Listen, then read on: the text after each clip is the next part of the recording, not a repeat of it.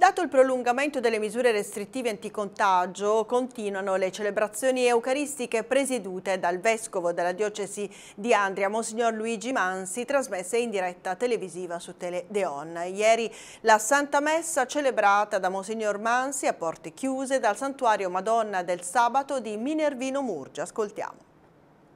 Il racconto dei discepoli di Emmaus assomiglia molto alla nostra vita di tutti i giorni non è forse vero che tante volte noi veniamo a messa proprio come i due discepoli? Facciamo la strada di andata verso la Chiesa, stanchi, sfiduciati, indolenti, delusi da tante cose, vorremmo quasi non andare.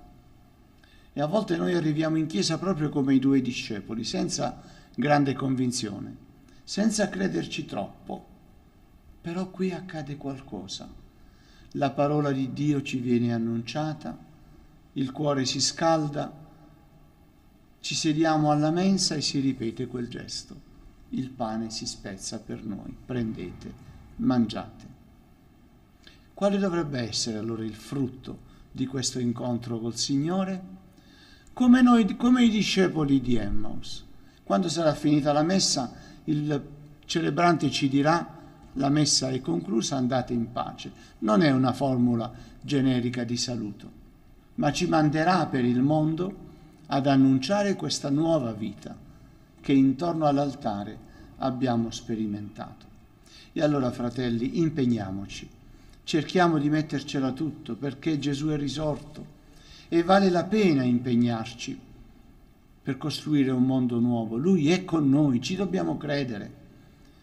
Se questo nuovo, mondo nuovo non nasce è perché noi per primi non ci crediamo.